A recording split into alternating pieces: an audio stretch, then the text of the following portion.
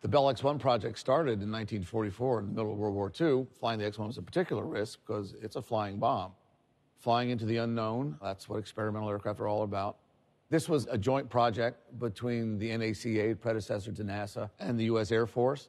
The NACA was very eager to gather all the data on transonic speed possible, and the Air Force wanted to break the speed of sound.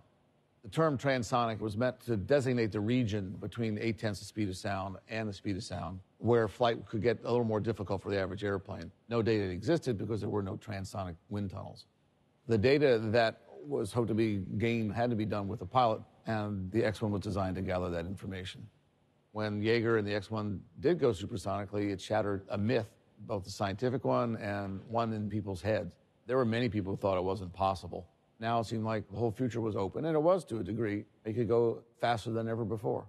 The problem going supersonically is that it requires a great deal more power. More power means more fuel. And since the airlines are a business, anything that runs the cost higher means ticket prices have to be higher. The age of supersonic air travel for civilians sort of came and went with the Concorde and got to a point where flying supersonically just was not affordable for the average person.